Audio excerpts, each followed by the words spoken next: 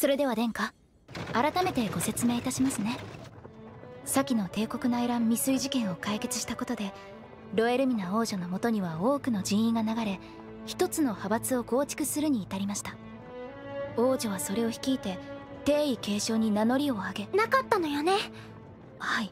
ここで帝位に名乗りを上げれば混乱を助長するつもりかと人心が離れると踏んだのでしょう。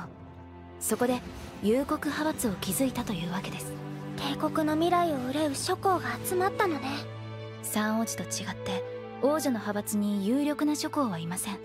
しかし王女はそれを逆手に取り武器を持たずただ真摯に帝国の未来を憂う王女というポジションに収まったのです。それを無理にたまらせようものなら誰の目から見ても悪者になるというわけね。すごくいやらしい人だ。わ